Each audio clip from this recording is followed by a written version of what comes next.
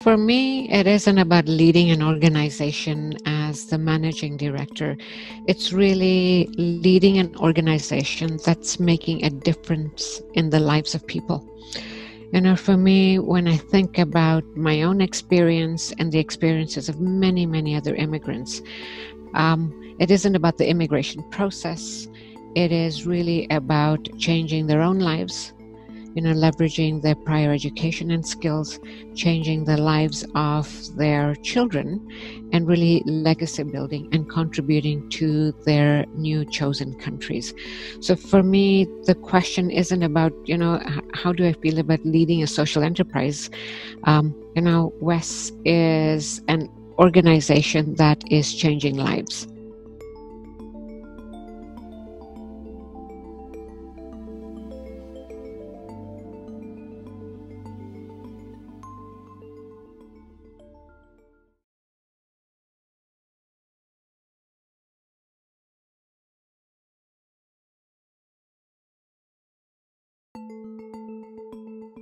So, almost 20 years ago in Ontario, generally Canada, but we used to get mostly, you know, almost about 53 to 60% of all immigrants coming to Canada coming to Ontario. I was a, former provincial bureaucrat and also the provincial uh, lead on a federal, provincial, territorial working group on what was called access to professions and trades.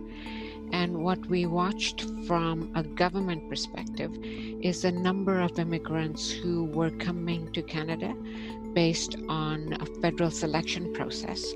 And then once they came to um, our province, Ontario, that in fact uh, uh the doors were shut almost immediately. Um, most of the decision makers, so you know, employers, post-secondary institutions, licensing bodies, didn't know how to evaluate these credentials from other countries.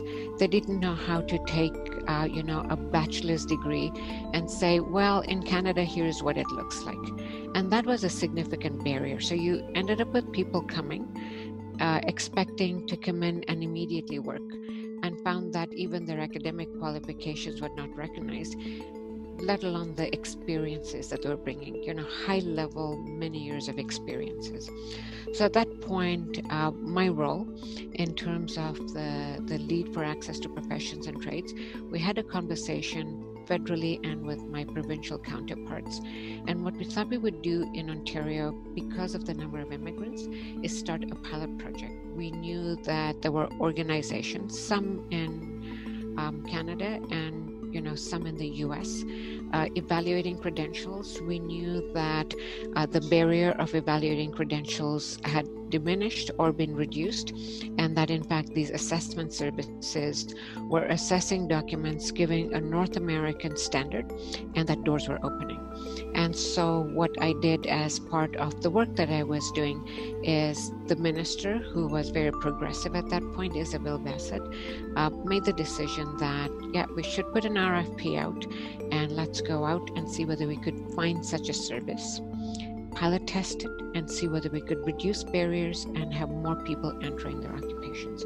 And WES demonstrated the highest quality of standards, had already been around almost 20 years in the US, um, had what I would call the gold standard, and uh, had quality processes where documents were ensured not to be fraudulent and had international recognition.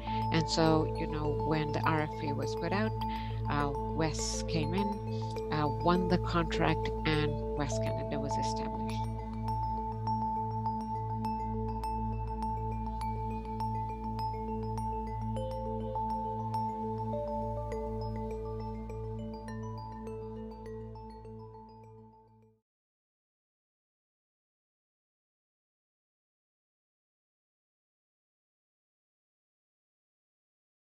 Now, since WES Canada was established, we basically have become uh, a strategic partner, advisor to a number of decision makers, stakeholders, etc.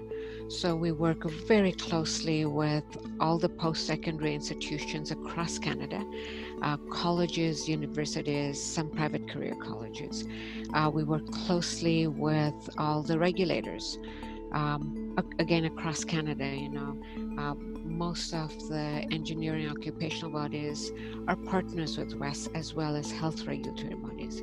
We work with employers in terms of the recognition of the reports that we're providing. So we basically have moved from reducing a barrier to opening doors to recognition by these decision makers. And you know, that's one of the things that I talked about is that the idea is the impact, changing lives of people who have come here to contribute. And we have moved that forward by the recognition that's taking place by all our strategic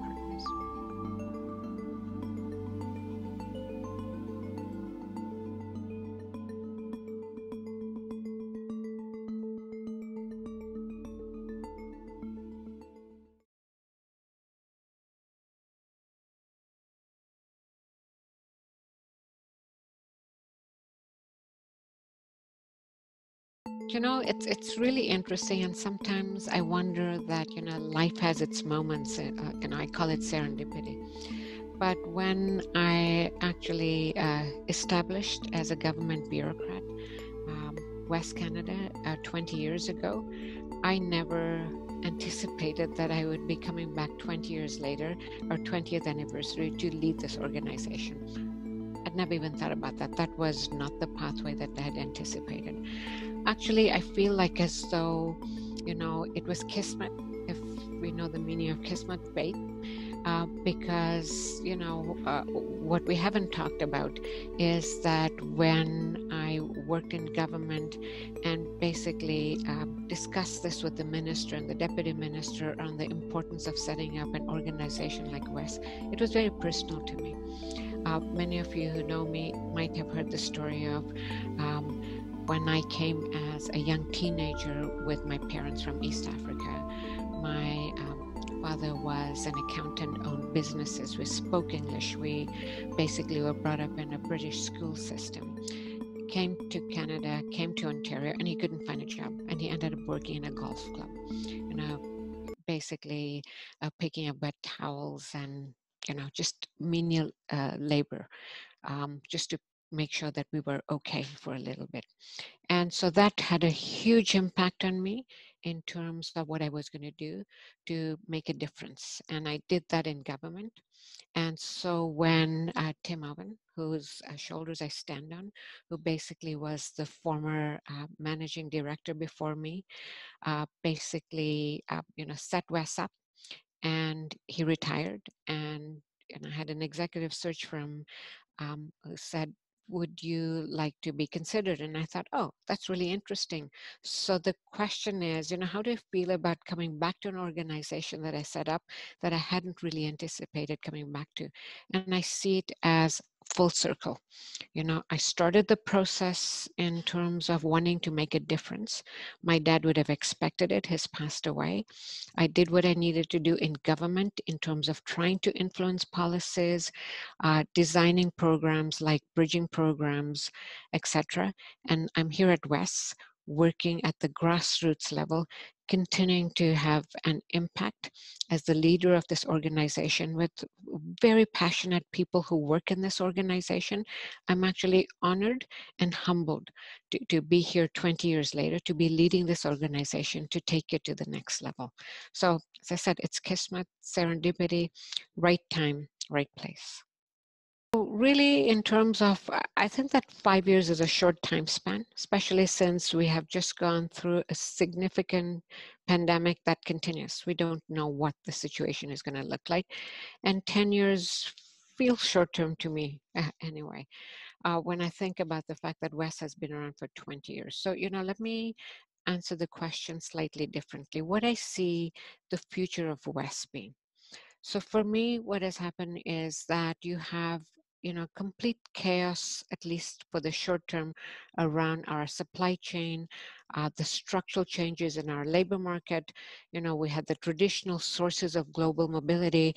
People would come in would assess their documents. They would either get into their former occupations or they would move into something else. Well it isn't traditional global mobility anymore and we don't have the same labor market. And we have digitization, technology, everything that basically has come into place fairly quickly. So, what I see the future of WES being is as follows We started with assessing credentials, we are excellent at that. What I'm starting to see is that employers and others are saying academic credentials and assessments are great, but what about skills? What about experience? How do we assess the experience that people bring? What are the tools that we have in place? That's one. Two is that the occupations that people were used to, traditional occupations, are quickly disappearing with artificial intelligence, robotics, or whatever else. So, how do we make sure that we leverage the academic credentials and skills that people bring and pivoted to what the new labor market looks like the new occupations.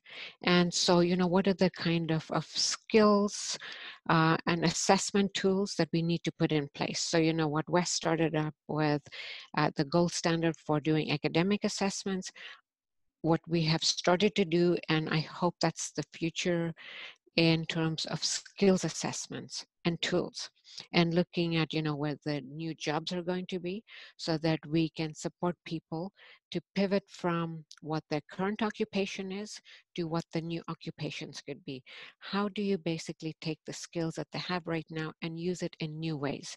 So upskilling. So you know as an example if an individual came here as an engineer and they have certain skill sets you know uh, project management uh, disciplined way of working and if the technology industry is going through significant growth which we know how could you pivot the skills to go into technology?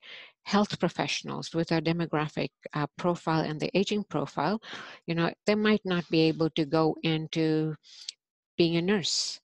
Uh, could they develop health apps could they basically go into workplace doing interprofessional uh, uh, work so that it's very different. You know, I, I, sort of have an aspiration as to what the future could look like. It's not the five or 10 years, it's really what I call strategic foresight, which is normally 20 years, 30 years out. What is the world going to look like? And then, you know, how do we position ourselves now for 30 years from now and, and do work incre- incrementally?